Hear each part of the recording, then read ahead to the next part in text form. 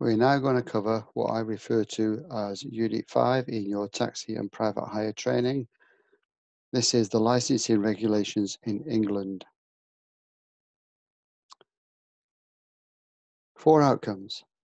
Know the requirements to acquire, hold and retain a license to drive and work within the taxi and private hire industry. So this is about you as a driver and application for that license to drive. Know the rules and regulations pertaining to the license, application and operation of a licensed taxi or private hire vehicle. This is about your vehicle that will be licensed to use as a taxi or a private hire know how to work within a regulatory framework for carrying passengers for hire and reward, reward the regulations in England. Know the duties and responsibilities of the licensed operator. This is for the person operating a private hire dispatch office. Four outcomes. Outcome one, Know the requirements to acquire, hold, and retain a license to drive and work within the taxi and private hire industry. We're going to talk about general legislation and the types of license you can hold as a driver, requirements to obtain that license. Once you get the license, staying and working within the regulations so you don't break the law. Suspensions, revocations, and appeals. Should there be any complaints against you, how you would uh, appeal against any suspension or revocation of your license. A little bit of history. The sedan chair was the first form of paid public transport in the UK. Obviously, in the London area, taking um, merchants, etc., to their townhouses. Um, in 1823, uh, the French brought over a two-wheeled one-horse carriage known as the hackney, which is the where, where the word hackney comes from. Uh, it was a soft top uh, known as a cabriolet, which is a word we still use today, and where the uh, abbreviation cab comes from. 1837, Joseph Hansom from Leicester uh, adapted that particular vehicle uh, so that the driver stood at the rear and there was space for luggage on the roof with a hard roof. Um, obviously, this could negotiate the narrow streets of London town. In 1838, the first driver license was issued. Um, you had to be a member of the Corporation of Coachmen, which had originally started in 1693. In 1847, the Town Police Clauses Act came into force, where rules and regulations were made up for these drivers that were members of the Corporation of Coachmen. The first motorised hackney carriage or taxi was introduced on the streets of London in 1928. Until then, all hire and reward was done with horse-drawn carriages. So, we mentioned in Unit 1 that we'll be covering uh, different acts of parliament. There are various acts of parliament and local government rules closely regulate the taxi and private hire industry. Some of these regulations date back over hundreds of years. Uh, some are very recent and reflect the importance of the government attaches to equality and public health concerns. These are updated regularly. They include the Town Police Clauses Act, which was introduced for the Hackney drivers, the Local Government Miscellaneous Provisions Act, which was brought in to regulate the private hire industry and amend, amend some of the Hackney regulations as well. There's the Transport Act 1985, the Road Safety Act 2006, the Motor Vehicle Seatbelt Regs, uh, which were updated in 2006, the Rehabilitation of Offenders Act 1974, Equality Act, which we've covered in Unit 3 2010, and obviously local licensing conditions.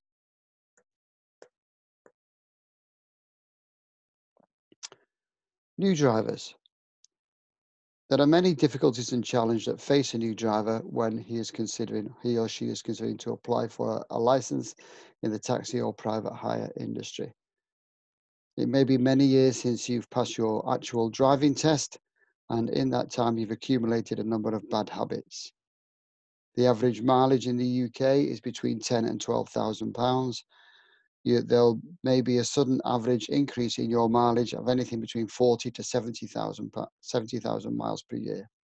You are driving in all weather, all different traffic conditions. There is pressure on you regarding timekeeping and timetables.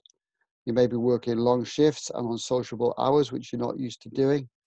Obviously, your vehicle insurance cost is going to massively increase, and you may have never dealt face to face with the public.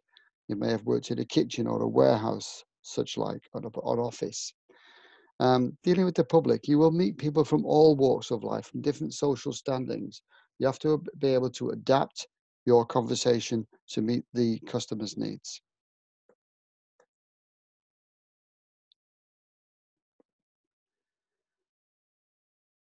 Carrying passengers for hire and reward is a very responsible job. You know you have a duty of care. It requires a range of skills and knowledge, including driving skills, customer service skills, communication skills, knowledge of local routes, even though you may have a satellite navigation system.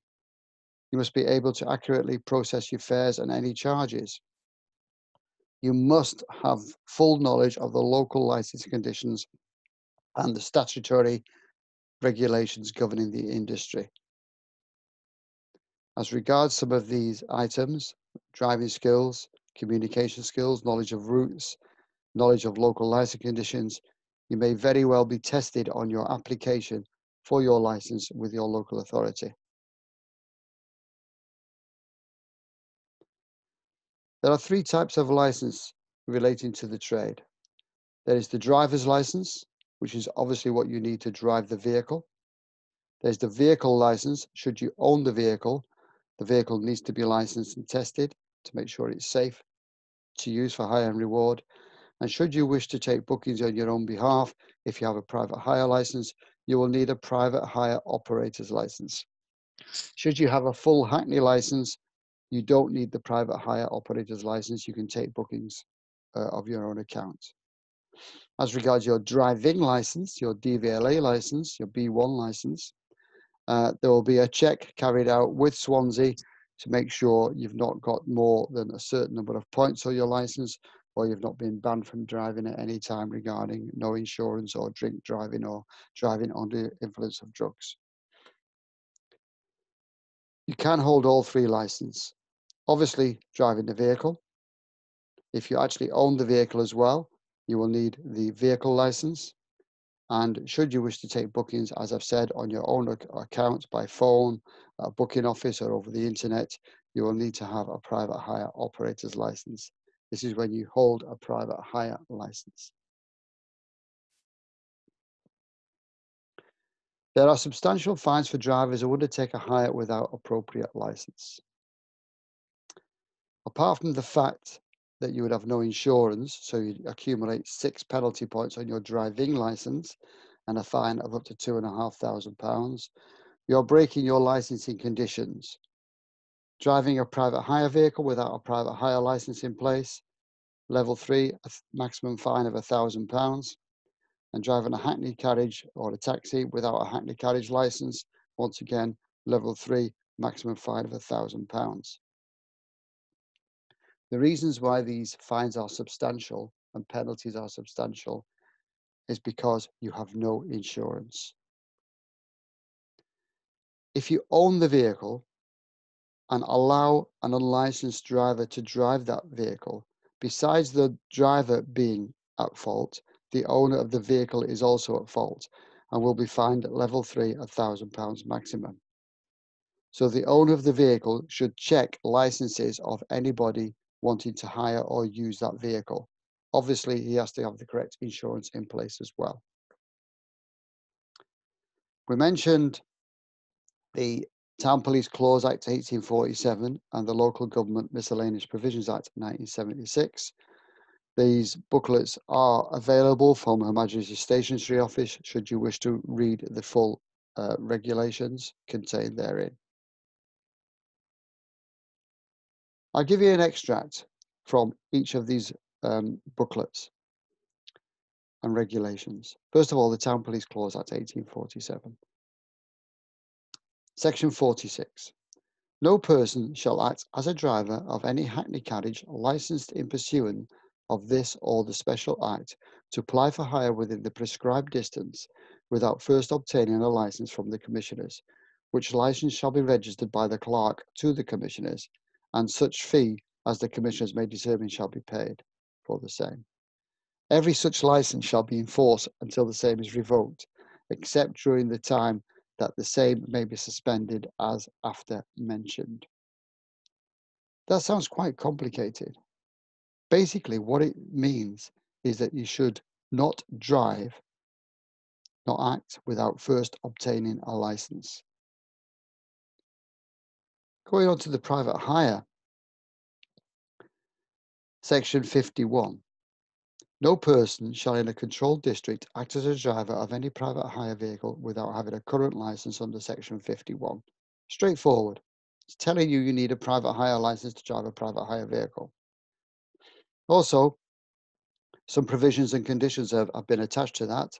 Subject to the provisions of this part of the Act, a district council shall, on the receipt of an application from any person for the grant to that person of a license to drive private hire vehicles, grant to that person a driver's license, provided that the district council or local authority shall not grant a license A unless they are satisfied that the applicant is fit and proper to hold a license, i.e., if passed a medical with their GP and they've they're subject to a DBS check that comes back with no criminal record. B, to any person who has not for at least 12 months been authorized to drive a motor car or is not at the date of application for a driver's license so authorized. In other words, one, you have to hold a UK or EU driving license for a minimum of 12 months. That's an absolute minimum. And also that you're authorized to drive that car, you've not been banned. Requirements to obtain that license. So I've just mentioned in the previous bit, this applies obviously to Hackney and private hire. You must hold a DVLA or EU driving license for a minimum of 12 months. Whether that changes after the Brexit finalisation is a question yet to be answered. You shall be deemed to be fit and proper, subject to uh, a standard or usually nowadays an enhanced disclosure barring service check and also uh, that medical with your own GP. The driver will make the council will maintain a register of all drivers and their particulars.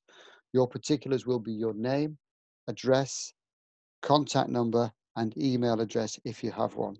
Should any of these details change, you have a duty to inform your local authority licensing department. A council can attach any preconditions to the granting of the license they feel is correct at the time in their borough. These preconditions may include the applicants for driving license must be above a certain age. Now, you know that you can have a UK driving license for a minimum of 12 months. So in theory, if you pass your test at 17, you could be driving a private hire or Hackney at 18. However, majority of licensing authorities usually have a minimum age of 21. Some even have a minimum age of 25. Applicants must have held a full UK or EU driver license for a specified period. So the law states a minimum of 12 months. Local authorities can put any time on that they like, two years, three years, five years. You may be subject to an English assessment and a mathematical test. You may be subject to a driving test. This is not mandatory. It's up to the local authority if they want to introduce one. You may be subject to a topographical knowledge test, a knowledge of routes of your local area. All councils tend to test you on their local licensing conditions, so you're aware of the local regulations. Why are there local regula regulations? To reflect the needs in that area. For instance, a village in Cornwall would be totally different than city centre Manchester. So you need a medical certificate signed by your GP. You may need a submission of two passport photographs, or they may simply just take your photograph at the application process within the licensing office. You must have no more than a specified number of points on your DVLA driving license. This is usually a minimum of six points. You are subject to a, disclosure barring service check and also a DVLA license check. Some local authorities will take into account your current or previous employment. Under the requirements for drivers to have a DBS check, I'm just going to abbreviate disclosure barring service to DBS check. Criminal offences recorded against the applicant are never spent under the terms of the Rehabilitation of Offenders Act. In other words, if you've ever been fined or convicted, that is always on your re record, is never spent. So, on your application form, you must tell the absolute truth and recall any events that may have happened in your past life where you've been fined or actually jailed. This also would apply to any motoring offences that you can recall for your driving licence. Applications for licenses require, therefore, full disclosure of all previous convictions and offences. You must also disclose any medical problems that could affect your ability to safely transport your passengers making any false statements or actually withholding information in order to obtain your hackney carriage, your taxi, or your private hire driver's license is an offence. Once again, level three, maximum fine a thousand pound. So, as you're aware, the applicant must produce a medical certificate signed by a registered medical practitioner, which is normally your own GP, unless the local authority tell you otherwise. This is to the effect that the, the applicant, you, the driver, is physically fit to drive a private hire or taxi. We mentioned it in Unit 2. Medical fi fitness conditions may or will apply. These are usually five yearly medical examinations um, after the age of 45 up to the age of 65. Upon reaching 65, this would become a yearly medical examination. It would include uh, an eyesight test, and blood pressure. The eyesight test may not be conduct conducted by your GP, as not all of them carry this out. You may have to go to an optician's and pay a separate fee. In some circumstances, a medical exemption certificate may be provided by the doctor, accepted by the licensing authority, where they issue the certificate which you can put in your vehicle. We've mentioned it already. Um, these uh, exemptions could include allergies to animals, so you're exempt from picking up guide dogs, or inability to push a wheelchair up a ramp. This would apply if you've got an accessible vehicle where you're perfectly fit to drive the vehicle, but you're not actually physically able to push a disabled person in a wheelchair up that ramp. Your DVLA license category is B1. You may actually fall into uh, a group two medical condition category. Um, diabetes and epilepsy are the most two common, uh, where the DVLA will issue you with what we call a C category C1 license. Should you have a category C1 license, um, please check with your local authority will, whether they will actually accept your application as not all councils accept diabetic drivers in particular. That is type 1 diabetes. Uh, there are, uh, I mentioned diabetes and epilepsy are the most two common. There are other group two categories. It could be age limits, cardiovascular, if you've had heart problems, neurological disorders in general, uh, respiratory problems and sleep disorders such, such as sleep apnea. Um, obviously, you need to get a good night's sleep. Any renal disorders, um, obviously if you sat in your car a long time you need to be close to a toilet should you have renal disorders. Psychiatric disorders particularly something like schizophrenia where you could be fine the one minute and uh, unstable the next. Any major visual disorders um, should you ever have been registered as a drug addict or an alcoholic so you've been dependent at some stage in your life on drugs or alcohol. Uh, impairment of cognitive functions particularly um, applicable to older drivers you may have some sort of disability where you need an assessment and any other miscellaneous conditions. Some cities and towns have uh, introduced a local knowledge test, i.e. location of streets, addresses, local landmarks, routes to be taken, etc. You may have to do this topographical test as part of the requirement uh, to get your license. The driver's license. The driver's license, when it's issued, shall remain in force for a maximum of three years. It can be a lesser period as determined by the council which is usually a year. Some councils, you have to renew your license every single year. With other councils or local authorities, uh, within your first year, it may be issued as a yearly one, and then provided you've had no black marks against you within that year, upon renewal, uh, will be issued for three years. The council obviously is entitled to recover any costs for the administration and issues of the license, and they will charge you a fee for doing so working within the regulations. Once a vehicle is licensed as a private hire vehicle, every driver of that vehicle, whether it be used for business or pleasure, must possess a current private hire driver license.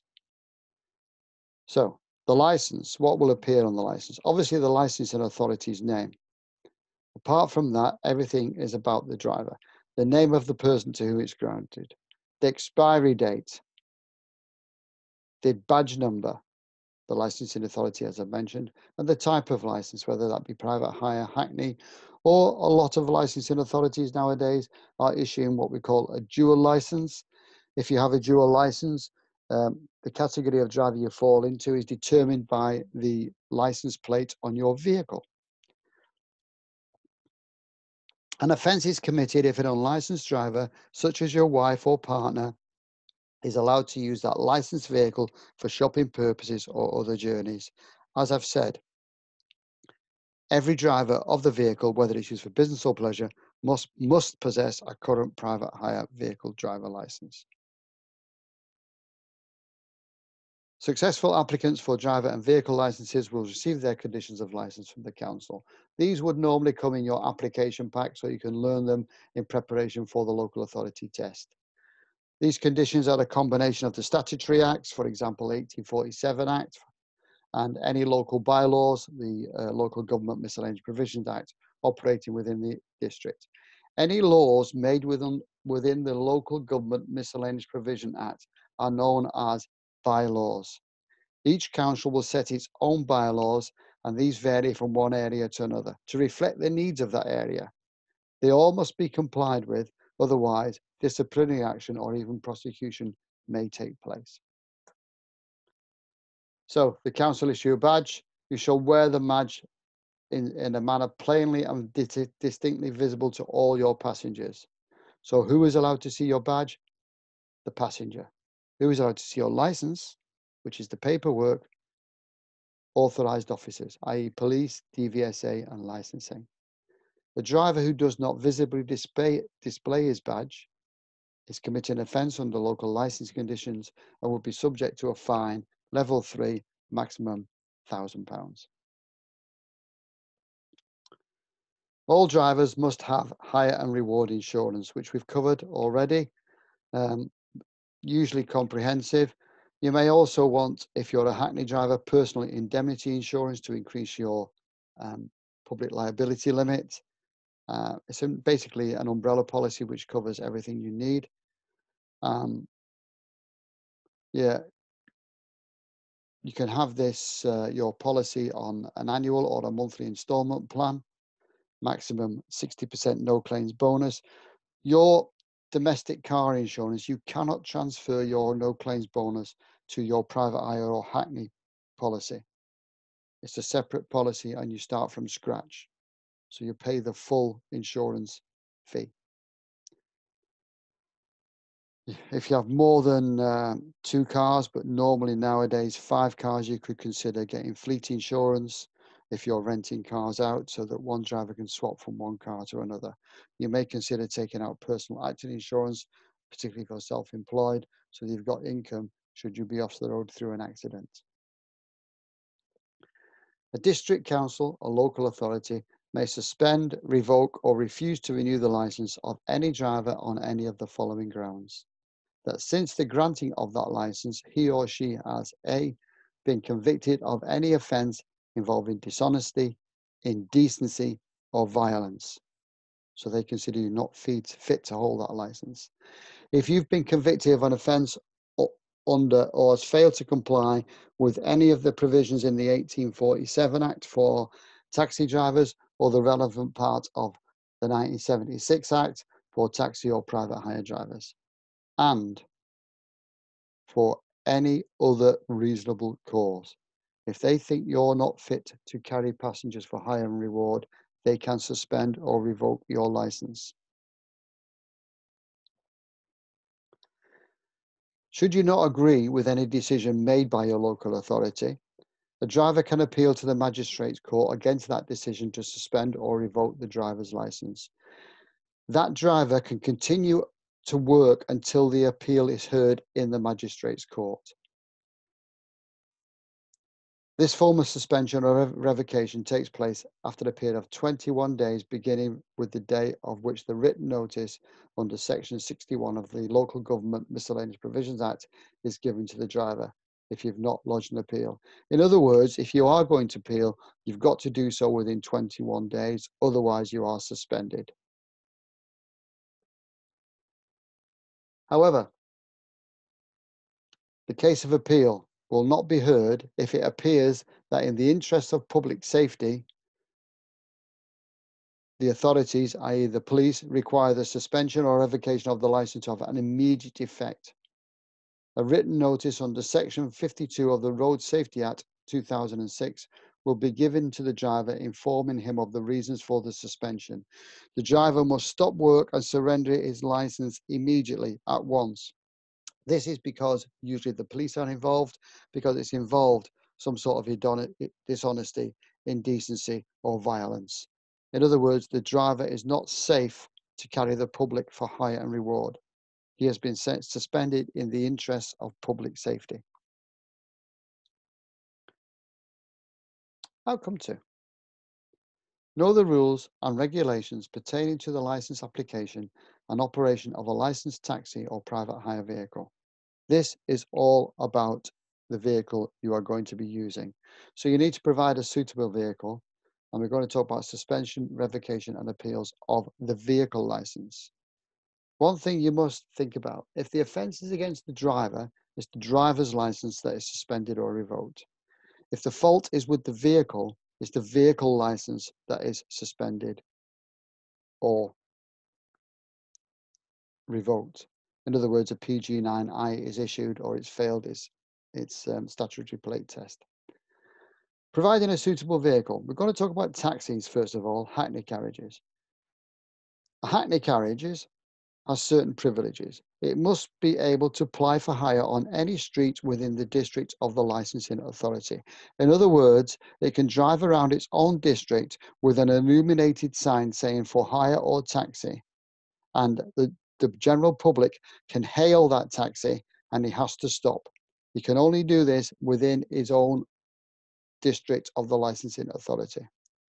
He can also apply for hire from a designated taxi rank or appointed stand within his local licensing authority, where the public can approach him for hire. As I've said, they have to display an illuminated sign offering his services for hire or taxi. Private hire, providing a suitable vehicle.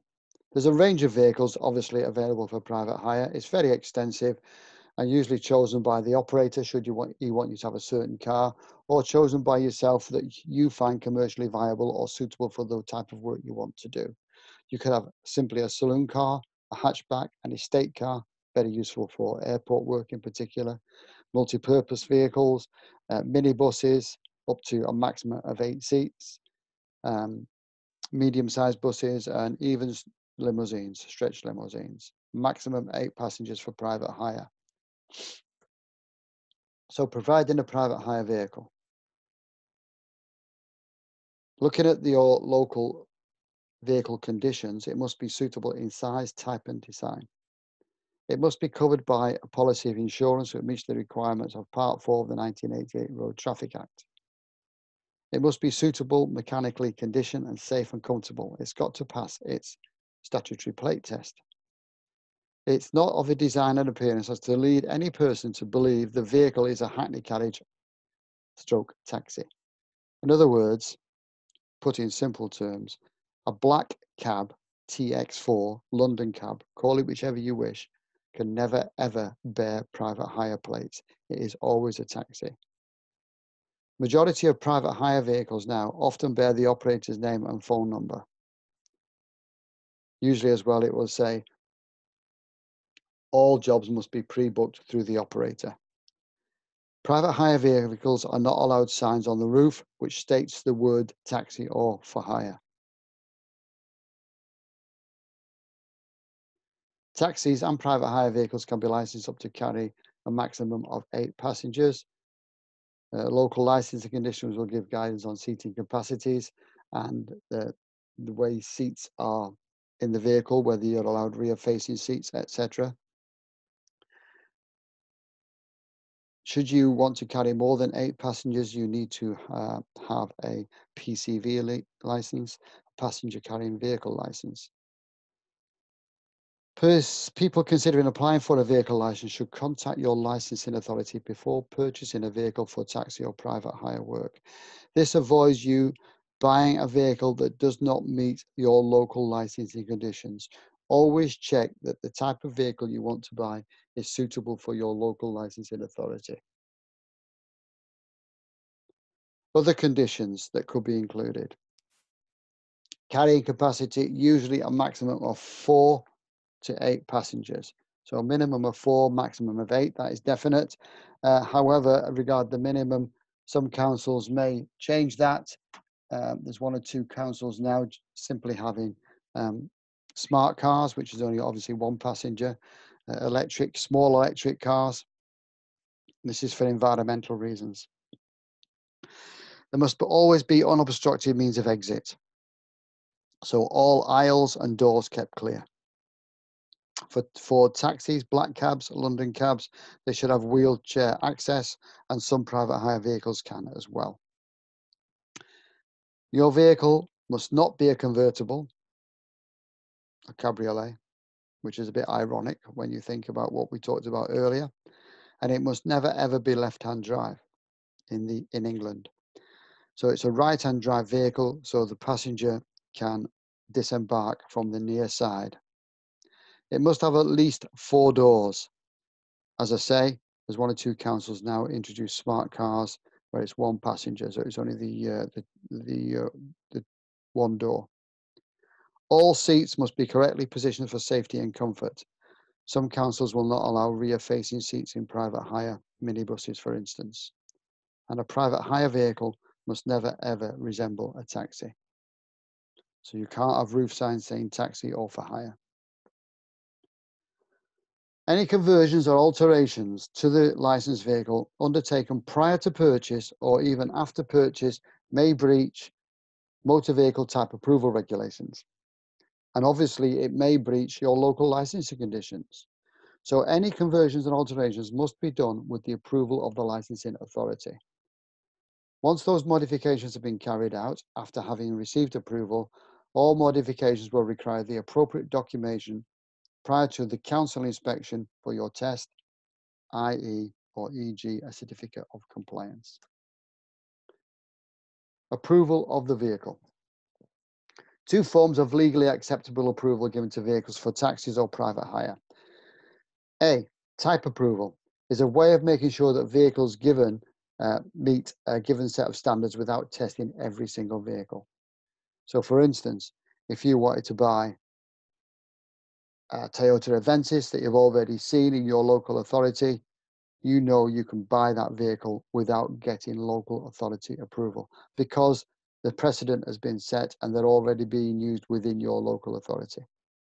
Single vehicle approval is a way of making sure that specialist vehicles meet a given set of standards by, by testing every vehicle and by approving every vehicle. So for instance, stretch, ve- stretch limos, they will need to get approval before testing and test every single vehicle. to make sure it's suitable for you to even apply for its license. The agency involved in the issue approvals is the DVSA, Driver and Vehicle Standards Agency. Also the VCA, the Vehicle Certificate Agency, they can be involved too. Type approval. There are three categories of vehicle that licensing will normally consider for licensing. One, category one. European Community Whole Vehicle Type Approval. All of the vehicles you see there are category one. You know you can buy them and use them within your local authority without seeking approval from the authority in the first place. So, saloon cars of a certain size, estate cars, London cabs, and Peugeot E7s. Category 2 is the National Small Series type approval. This is a UK national scheme, not EU, aimed at low volume manufacturers who intend to sell only in the UK. Once a vehicle type has been approved, more vehicles of the same type can be sold across the UK without further inspection. Presently, there is no such vehicle available in the UK. Um, but I really do feel there's a market for such a vehicle. It would be advisable for the buyer of a second-hand vehicle in particular to contact the converter and requ request any copies of the low volume type approval certificate. So it may be you've had a, ve a vehicle has at some stage been converted into say a wheelchair accessible vehicle. You need to see that it's got approval to have been done correctly. Category 3, UK individual vehicle approval. Individual vehicle approval inspections encompass vehicles which have been imported or converted or modified, which may fall into category 1 or even category 2. For these vehicles, uh, which include stretch limos, converted vans into um, six or eight seaters, vehicles that have been adapted for wheelchair use, uh, these have to be approved for taxi and private hire use. They will have to be specially examined and tested for safe operation, such as the wells, the floor strength, the tires, the anchorage of the seat belts, the glass tintage, etc., etc. The VCA, Vehicle Certificate Agency, is involved in these approvals with the DVSA. The licensing authority may request evidence of compliance against type approval standards particularly where vehicles have been modified since the original registration. To facilitate this, a non-statutory voluntary IVA test is available, individual vehicle test is available. If the vehicle meets this standard, a letter of compliance is issued in place of the Minister's approval certificate. This is from the VCA. It is considered best practice for all local licensing authorities to insist, for, insist that at least one of the above type approvals is produced prior to any imported vehicle being licensed as a hackney or private hire vehicle. You will usually find that once an imported vehicle has been approved, that type of vehicle will normally get category one. Should it not have this, it will need to go under category three and each individual vehicle will need to be inspected before the test to see if it is suitable to be a private hire or taxi.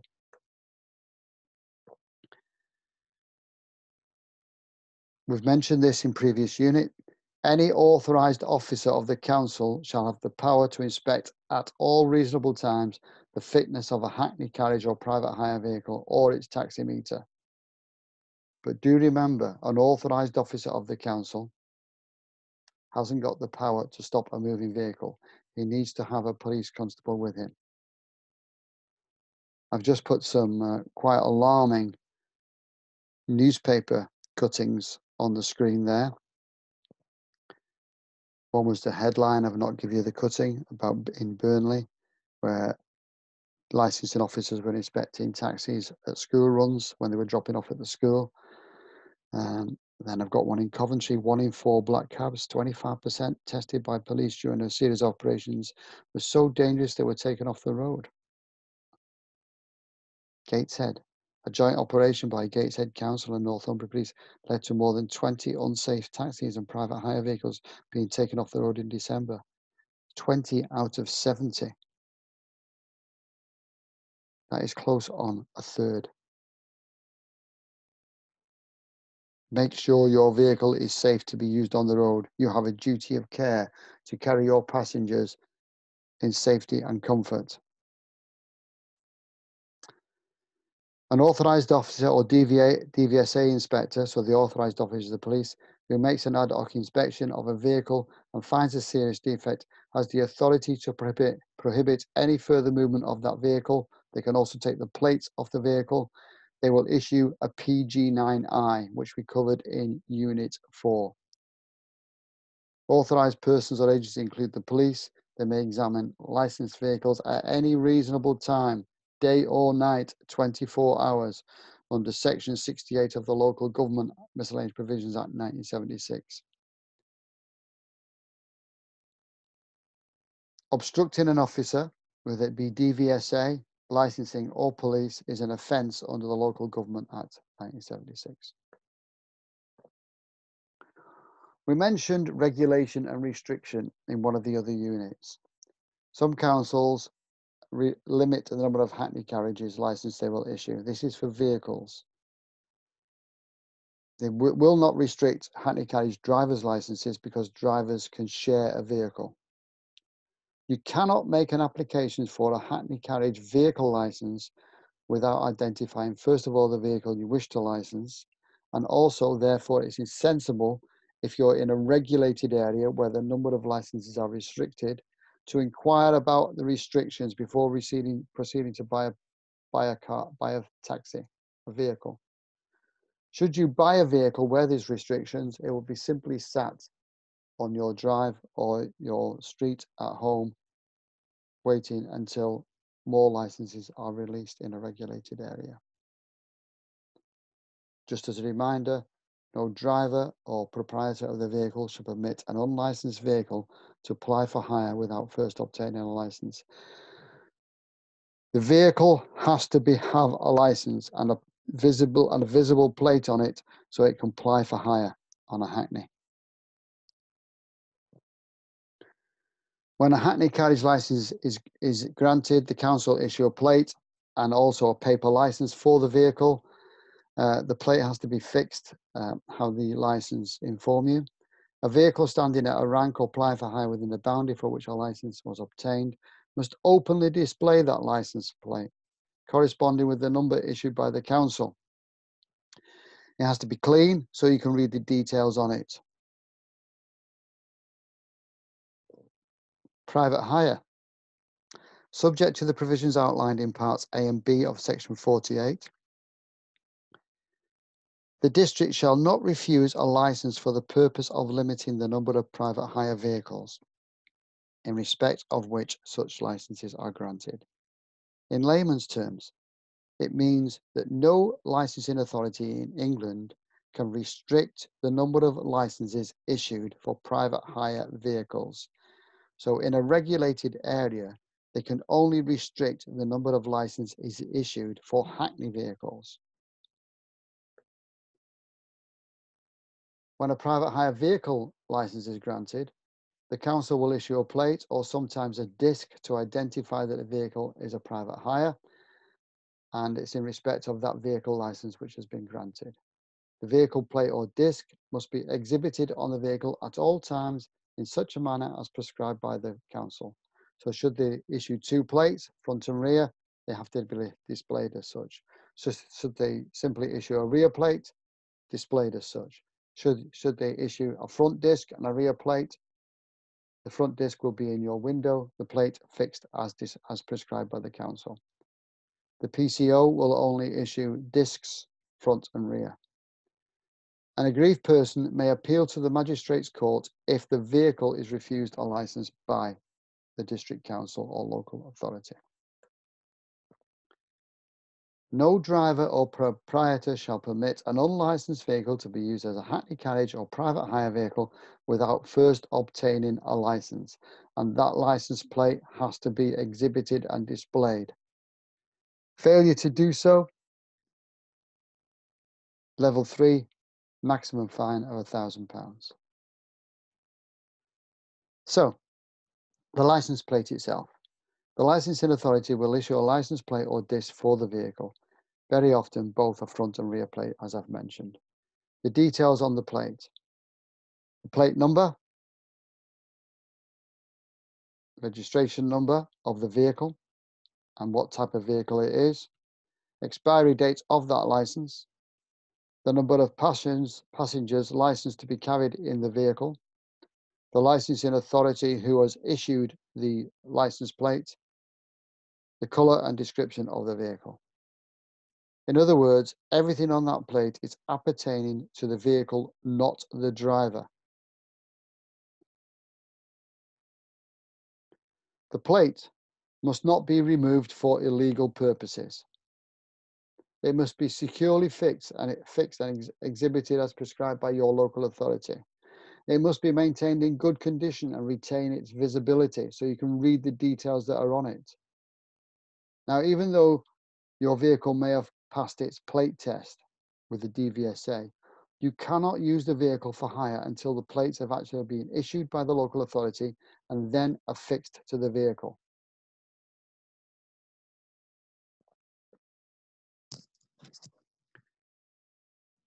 Local Government Act. We're still going to talk about plates and signs. The council may attach to the grant of a vehicle license such conditions as they consider reasonably necessary, including conditions about design or appearance of the vehicle. So the council may attach to the grant of a vehicle license such considers conditions as they consider reasonably necessary, including conditions or prohibiting the display of signs on or from the vehicle to which the license relates. Some licensing authorities now are actually making it mandatory for you to carry the name of the private hire company for which you are working. As with your driver license, the council can also attach conditions of license to the vehicle. Such conditions are the age of the vehicle, where some licensing authorities, once your vehicle reaches a certain age, you have to change it. This is to keep up standards Colour conditions. Some councils will insist that you can have a certain colour of vehicle as a private hire or a taxi. Wheelchair accessibility. They may insist that all taxis have to have wheelchair access. Details of permitted advertising. Well, we've mentioned that private hire may be able to advertise their company name and telephone number, but taxis may be able to advertise and you may see on the London cabs full wraparound advertising. The local authority will tell you what is allowed and what is not. Maintenance of the vehicle and the frequency of vehicle inspections. Inspections. The plate is issued for a year. However, within that year, there may be one, two, or three inspections. Notifi notification of vehicle modifications. Should you be wanting to change anything on your vehicle, you have to apply to the council first to see that it's within licensing approval. Once it's been modified, it has to have a certificate of compliance. Seating restrictions, whether on private hire in particular, you're allowed to have rear facing seats. Provision of safety equipment, such as a first aid kit or fire extinguisher. They will tell you what is required. Types of permitted spare tyres. Are you allowed a space saver?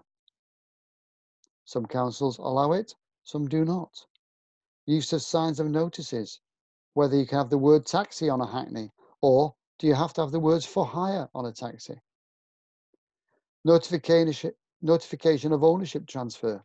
Well, obviously you need to send your logbook, your V5, off to Swansea to to let them know of any change of ownership. You also need to let your local authority licensing officer know about that. Notification of any accidents or accident damage. Accident damage within 72 hours of it happening. Suspension, revocation and appeals of the vehicle license. The council may suspend or revoke or refuse to renew either type of vehicle license, taxi or private hire on any of the following grounds.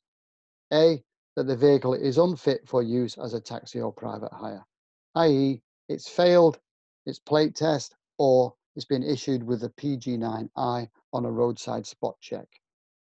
Any offence or non-compliance of the relevant section of the 1847 Act for taxis or the 1976 Act for private hire. And once again, for any other reasonable cause. It may be simply that you have a dirty car. The vehicle is suspended. Suspension revocation appeals. We shall continue on this. Where a district council has suspended, revoked, or refused to renew a vehicle license under this section, they will give the proprietor of the vehicle a notice within 14 days. This is a written notice within 14 days, given details of why the license has been suspended or revoked, or why they've refused to renew that license. Once again, you've got leave to appeal against the decision of the district council through the magistrates court. You have to do this within 21 days of receiving the written notification.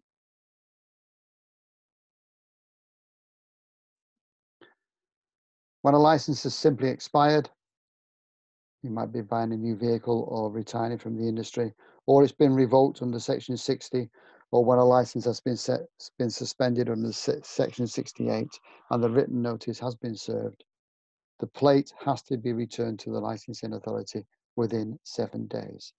It is the property of the licensing authority. Failure to return the plate within that specified, specified time is an offence and could lead to a summary fine. An authorised person can remove the plate if the notice has not been complied with. So an authorised officer from the council can come and remove that plate.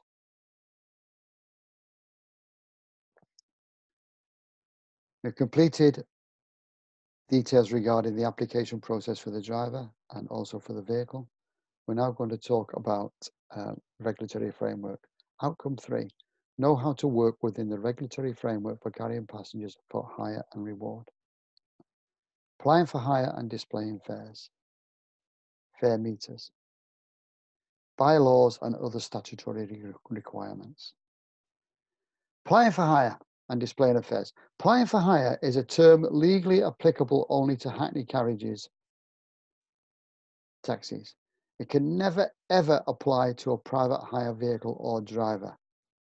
So only taxis can apply for hire, be hailed within their own borough, or be approached when they're on a rank within their own borough.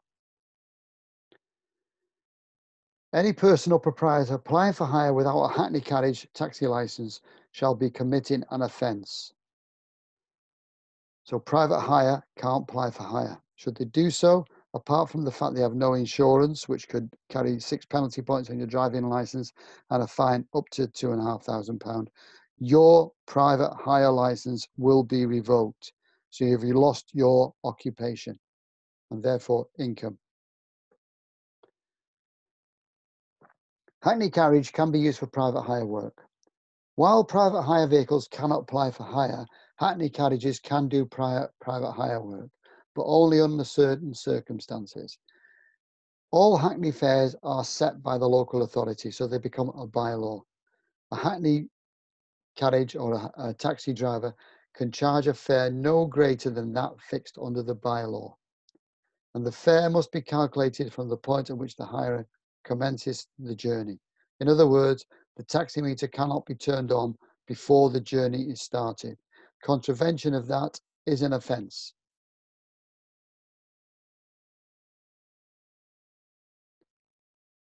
The driver of a Hackney carriage, a taxi, who accepts a fare ending outside the district must have an agreement with the hire as to the cost of the hire when the period begins. So if you're going out of area, you arrange a set fare with the passenger, which obviously the passenger has to agree with before you start the journey.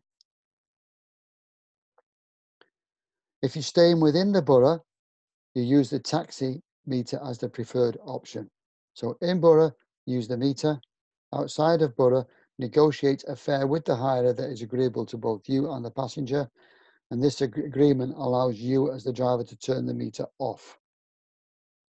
Should you not be able to negotiate a fare for whatever reason before the start of the journey, the fare meter only should be charged.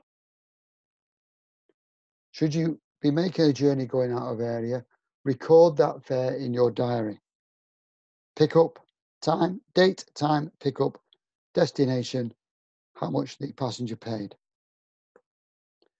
Overcharging is a very serious offence. Should you charge more than what you agreed with the passenger initially, in other words, at the end of the journey, you increase the fare, that is uh, level one, a fine of no more than £250 and probable return of the whole fare.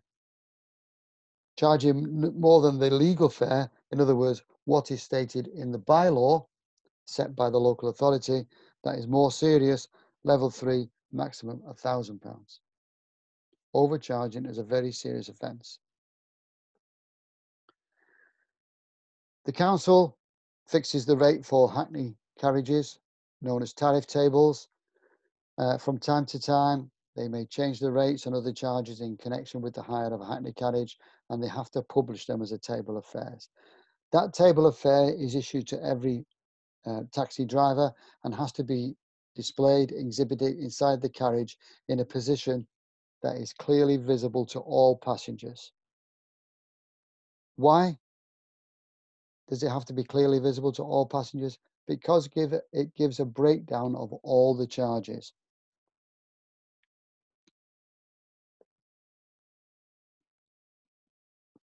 Other things that could be included, call out charges, cost cancellation charges, soilage charges, that's clearly displayed on the tariff table. Should the customer not pay it, they are committing an offence. Carriage of luggage or extra luggage or extra passengers, again been listed on the tariff table, as will perambulators, baby buggies. Carriage of animals, except assistance dogs, you cannot charge for an assistance dog. Should you incur any extra charges that are not on the tariff, such as road tolls, congestion charges in London, um, car parking or drop off charges, these can be added to the displayed fare charge or the agreed set charge. But please remember, there is definitely no charge for assistance dogs and no charge for wheelchair, extra charges for wheelchair passengers. Should a passenger ask for a receipt for the fare they pay for the journey, you must give them a written receipt or one produced by your printer, which is attached to your taxi meter, should you have that facility. It's a legal requirement that if a passenger asks, for a receipt, you have to provide one. The taxi meter is installed in your Hackney carriage or private hire vehicle. Uh, has to be tested and approved uh, by the council. On private hire nowadays, obviously a lot of it is incorporated into your PDA or your data head. If it's a standalone ta uh, taximeter, it's an offence to tamper with any seal, alter the taximeter with intent to mislead. So it's fraud or permit the vehicle to be used in, in contravention of this act. There's nothing in the Local Government Act that says a taximeter needs to be fitted to a private hire vehicle, but they have to be installed in taxis or Hackney carriage.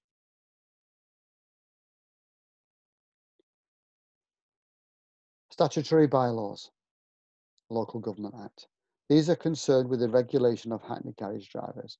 So, things that are included in the bylaws, you cannot demand a fare greater than that agreed or authorised under the bylaw. You have to stick to the tariff. Location of rank within the local authority, their position, and the maximum number of taxis on each rank. Should you approach a rank that is full, the official line is you have to drive around until you find an empty space on another rank.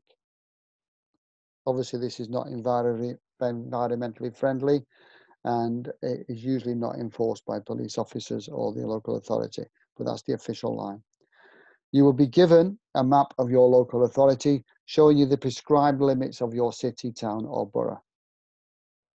Requirement of a driver to undertake a hire within a prescribed distance. So there may be limits to how far you can drive or pick up.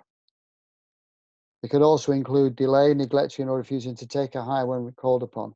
If you're for hire, you are for hire. The only reason you can refuse a hire is by either medical exemption certificate for an assistance dog a medical exemption certificate for a wheelchair bound passenger or for safety reasons. Safety includes any dangers to yourself, the passenger, or the vehicle. Delaying, neglecting, or failing to announce yourself when arriving for hire. You should make every attempt to find your passenger. With private hire, it's quite easy nowadays because you've got the text back facility where the customer knows that you've arrived. Distance the driver is compiled to drive with any one hirer. So there may be a limit as to how far you can go because of safety reasons. You must journey by with the hirer by the most direct route unless instructed otherwise. You cannot go what we call the circuitous route, not unless the customer asks you to take a specific route, in which case you follow customer's instructions.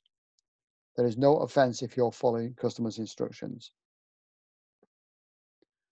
You cannot tout for business. This is for both private hire or taxis. You can't shout, I'm going to the city centre. Anyone. I'm going to Tesco's. I'm empty. Do you want to jump in? Any of these things. All these bylaws concern the conduct of the driver. A driver trying to attract business by encouraging persons to enter his vehicle is guilty of touting.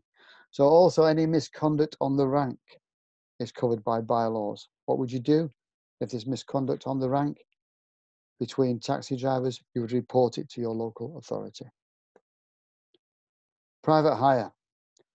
Can't be hired unless booked through the operated operator. You can give a customer a business card and also you've usually got your phone number on your door. People will have smartphones, mobile phones. They're able to phone your company quickly so that pickup can be arranged. It may be you're looking at your PDA or data head and see that you're position number 10 on the plot. Just to show the passenger that there's plenty of drivers around and one will be around in a moment. If you're number one on the plot, do not allow the passenger to get in your vehicle until the job comes through to your screen. You could be accused of touting otherwise. We've mentioned this in Unit 2. A passenger who hires a vehicle with the intention of not paying the fare is known as a bilker or a runner. They've run off without paying. Please contact the police. This is recommended as a pattern may emerge. Once they've done it once, they may do it again, usually for a higher fare. But also contacting the police could help them with their inquiries to stop these particular people doing it in future. It is a criminal offence under the Theft Act 1968. Documents. This is paper documents. Authorised officers. On request, authorised officers could ask for the following documents. So, authorised officers, police, licensing, and DVSA officials. Your Hackney Carriage Vehicle Licence, paperwork. Private Hire Vehicle Licence, paperwork. Hackney Carriage Driver's Licence, the paperwork private hire driver's license, the paperwork, your insurance certificate, your certificate of compliance for any modifications, or your pass certificate for your vehicle. Failure to produce any of these paper paperwork licenses within five working days could lead up to a fine of level three, uh, thousand pounds. We mentioned in Unit Four any accident causing material damage which affects the safety, performance, and appearance of the licensed vehicle, or the comfort uh, or convenience of the passengers, the sh driver shall report the accident to the licensing authority as soon as reasonably practical, but it could be the weekend, so the maximum in any case is within 72 hours, three days. No person shall cause or permit any vehicle other than a hackney carriage to wait on an appointed stand. So there's no domestic cars, private cars. There's no private hire vehicles. There's no hackney carriage vehicles from another borough on that stand or rank. There will be signage saying that it is a taxi rank. If any person contra contra contravenes the provisions of this Act, then he or she is guilty of an offence. As I've mentioned already, you cannot go by the circuitous route. So a driver who deliberately prolongs the journey in order to increase the fare is guilty of an offence. Penalty level three, up to a thousand pound, and usually a return of the full fare. Under the Local Government Act 1976 and the 1847 Act, the Town Police Clauses Act, uh, a person is committing an offence if he or she willfully obstructs an officer or constable in pursuance of the 1976 Act or the 1847 Act. If they have stopped you to inspect your vehicle and you obstruct them from inspection, etc., you are breaking the law, the Local Government Act or the Town Police Clause Act penalty level three, a thousand pound. If you fail to comply with any reasonable request or requirement from an authorized officer or constable. If you fail to give an authorized officer or constable assistance or information he or she may reasonably require to carry out their duties as part of the 1976 Act for Private Hire and the 1847 Act for or taxi drivers. Certain vehicles, whilst in theory are privately hire, are not subject to private hire licenses, and neither are the drivers. So, for instance, wedding vehicles and funeral vehicles, if they are solely, and that's the key word, solely or only used for weddings or funerals and not for any other private hire work, the vehicle does not need to be licensed and the driver of that vehicle does not need to carry a private hire li license either. Penalties for refusing to drive. I've already mentioned the only refusals can be medical exemption certificate for an assistance dog, medical exemption certificate in accessible vehicle for a wheelchair passenger, and for safety grounds either to the driver, the passenger, or the vehicle itself. If you're hired available for hire on a rank or displaying an illuminated sign within your body as a taxi and refuse to take the fare, level two, £500. Refusal has to be justified. On Hackney again, you cannot charge for extras that are not on the tariff. So for instance, on my caption there, £10 for a guide dog. Well, A, there's no charge for a guide dog or assistance dog. So that driver is actually breaking the law, Equality Act, and also the Local Government Act. Shopping bag, £5. If there is a tariff for shopping bags, it's usually 10p or 20p, or sometimes nothing at all. Wheelchair, obviously, once again, can't, can't carry, charge for a wheelchair. Charging more than the agreed fare, level one, £250. Charging more than the tariff fare, level three, £1,000. Whilst a taxi or even a private hire driver, for instance, may pick up passengers that are being dropped off at different destinations. You cannot demand separate fares. Normally, what would happen is the passengers themselves, usually friends or family, would agree amongst themselves to pay separate fares at each stop.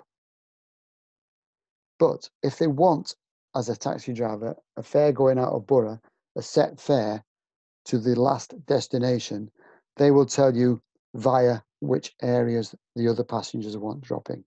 You have to give one set fare, not three or four different fares. Again, with the meter, you cannot stop and start the meter as each passenger disembarks. You start the meter at the commencement of the journey and you end the meter when the last passenger is getting out, when the full fare will be paid. The passenger may have collected some of the fare off the other passengers, or some of the passengers even may have paid you along the way. You have not asked for staged fares. They have simply looked at the meter and seen how much the fare is to that particular spot where they've been dropped off. Obviously, penalties on drivers misbehaving. Drivers who are intoxicated whilst driving or driving under influence of drugs or dri driving or other actions cause injuries or death is obviously liable to criminal charges. This would include obviously loss of your license and therefore your livelihood, and your future application of any license once um, you're either out of jail or you're available to apply for a license again. So as I've said, drunkenness or driving under influence of drugs, willful misconduct, endangering a person's life or limb, improperly standing in carriage, refusing to give way, obstructing drivers or depriving him of a fare. A Couple of things here. A lot of taxi ranks are on a crescent. So to approach the rear of the rank, you have to drive past the front of the rank. Courtesy and patience are required at all taxi ranks. So drivers, this is courtesy. Drivers approaching a rank, exercise caution in picking up a, a fare within a reasonable distance. If you're in full view of the other drivers on the rank, turn your illuminated sign off and go to the rear of the rank.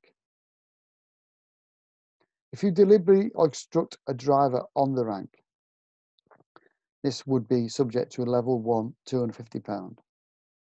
It is unreasonable behaviour to obstruct another driver on the rank. Advertising. Hackney drivers, Hackney vehicles can advertise, whereas private hire vehicles can only advertise the name of their company and phone number. They cannot allow general advertising on private hire. But all advertising on taxis, Hackney carriages must be of a professional standard.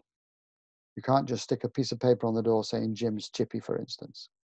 So, the licensing conditions and also the British Advertising Standards Authority will determine the parameters of any advertising that is allowed on the taxi, the Hackney carriage vehicle.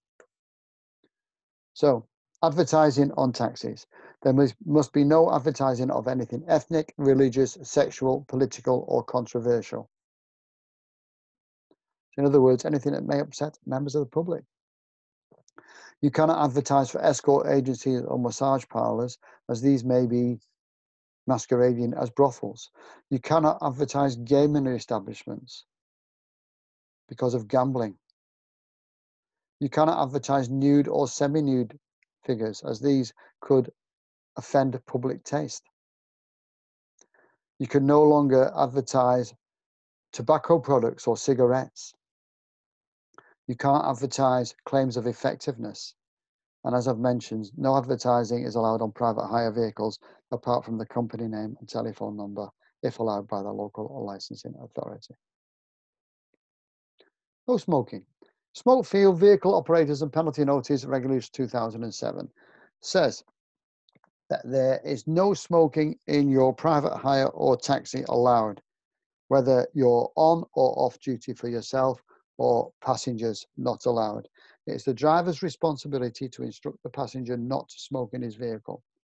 So, the responsibility, the onus of ensuring that there's no smoking in a no smoking vehicle falls upon the driver, not the owner of the vehicle, the driver. The person managing responsible of the responsibilities of the vehicle. So if someone's hiring the vehicle out, they should be fitting no smoking fine signs, but the driver is still responsible. Should these regulations be contravened, individuals could face on-the-spot fines of minimum of £50. These could rise to as much as £1,000 should it be brought to court. And should that fine not be paid within time, it can increase to a maximum of £2,500. It is against the law to smoke in the vehicle. No smoking signs must be displayed on all entry and exit doors. So on a saloon car, you would have three signs. On the front, door, windows and on the rear two-door windows. Depending on your licensing authority, they may say that the sign has to be legible from the outside or from the inside, or preferably from both sides, a double-sided sign. Lastly, outcome four, know the duties and responsibilities of the operator. Requirements for the operator license, private hire bookings, and any other requirements.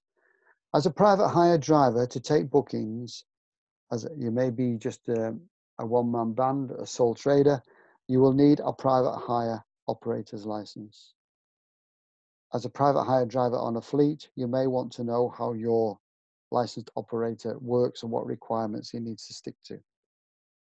Suspension, revocation, and appeals of the private hire operator's license. So, a license is required to operate licensed vehicles from a designated site. In other words, you need planning permission to open a dispatch office within an area or at a certain spot. No person shall in a controlled district operate any vehicle as a private hire vehicle without having a current license. So any vehicles on the fleet of the private hire base needs to have a private hire license. No operator licensed under section 55 of this act shall in a controlled district operate any private hire vehicle. So the vehicle has to have a license, the driver has to have a license. It is the operator's responsibility to check vehicle licenses and to check private hire driver licenses. It may be a condition of license that on the private hire driver's license, for instance, that the operator keeps the original. If this is the case, the driver should take a copy so he has a copy at home.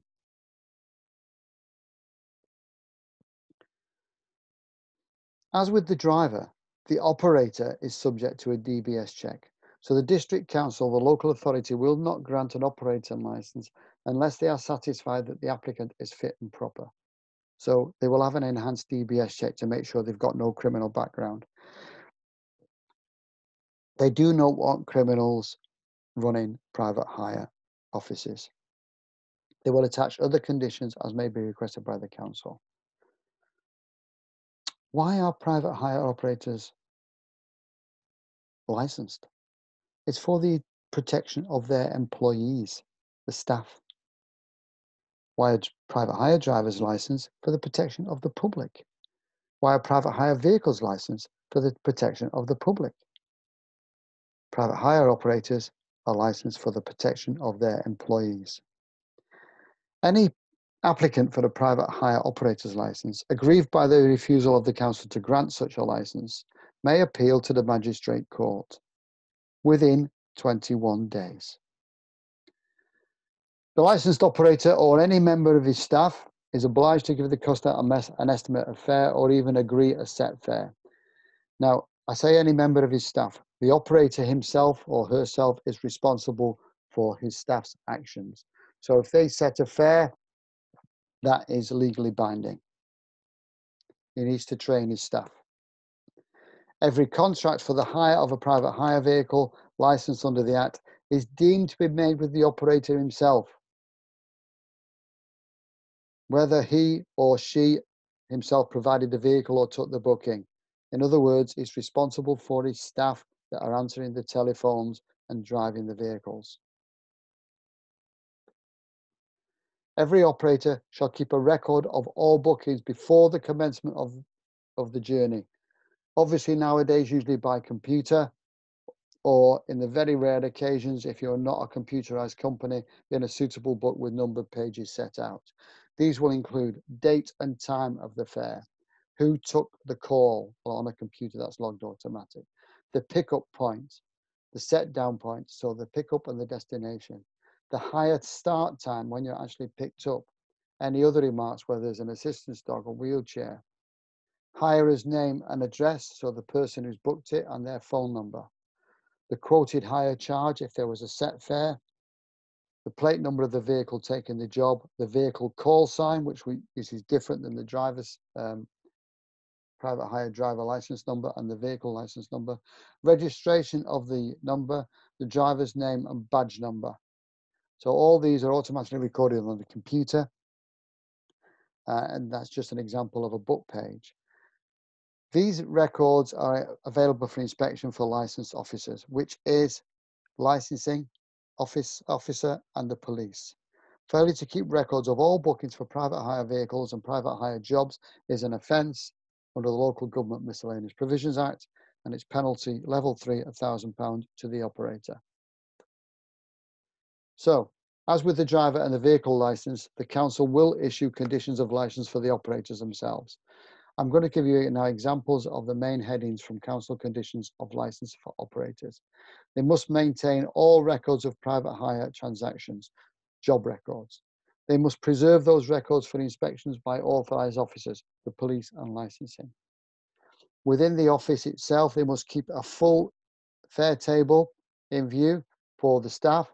And also, if they have a waiting room, they must keep a fare table uh, in un unobstructed view for any prospective clients waiting for their vehicle to arrive. So the client, the customer can see a breakdown of all the charges. The operator's license, when it's issued, once again should be displayed in the office so the staff can see the operator's details, uh, his name and his operator's license number. And also, once again, if you have a waiting room, in unobstructed view of prospective clients and customers so they can actually see who, who operates the company. If they have a waiting room, they have to have uh, a seating area and that seating area has to be kept clean, tidy and comfortable, usually warm as well nowadays. Obviously, they need to hold public liability insurance because the public are coming onto the premises um, in a waiting room and self-employed drivers are coming onto the premises on a regular basis. They will also need employer's liability should they be employing people to answer the telephones and dispatch work. Preservation of records. This is just an example of records that have to be kept for inspection. So driver and vehicle records. Any driver that has been on the system and any vehicle that has been on the system, a record of that driver should they leave has to be kept for a minimum of 12 months.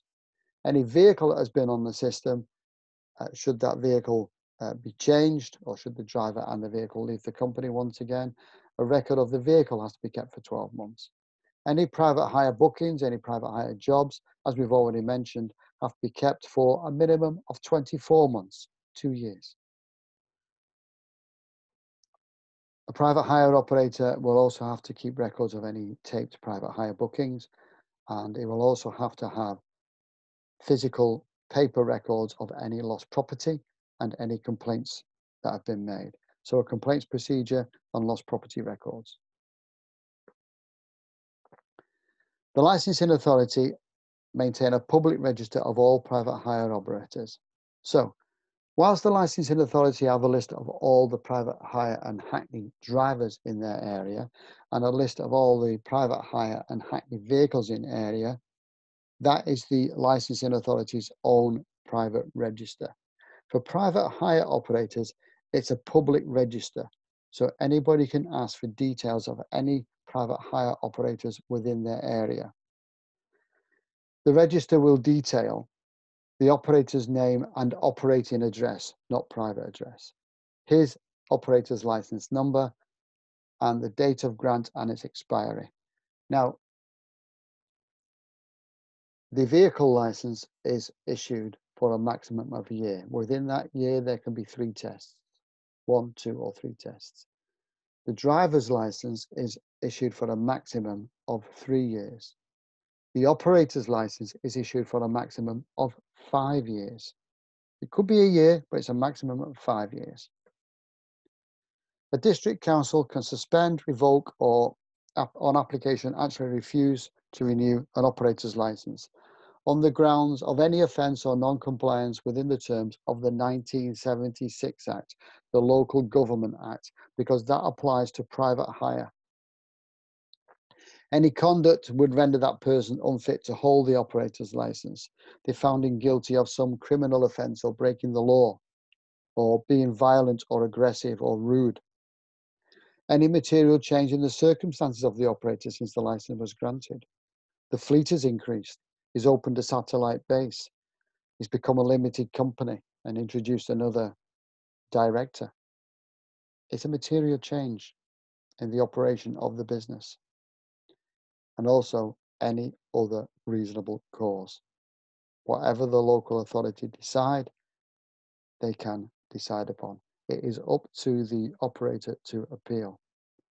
Once again, the operator aggrieved by the decision of the council may appeal to the magistrate court within 21 days of the receipt of the notice of suspension or revocation or refuse to renew. One massive difference. A private hire or hackney driver can be suspended immediately in the interest of public safety, section 52 of the Road Traffic Act, Road Safety Act, beg your pardon. A vehicle can be suspended immediately should it fail its plate test or be issued with a PG9I for the for a roadside spot check. There is no power to suspend an operator's license immediately, as in the case with drivers and vehicles. That is because he has clients that are dependent on him that have already made bookings and drivers that are dependent on, on him or her for a living. They will be given time to put their house in order. Should they appeal against the decision, the operator can still take bookings while until the appeal is heard. Thank you. That is quite a comprehensive unit. Please check you have a full understanding before moving on to the next unit.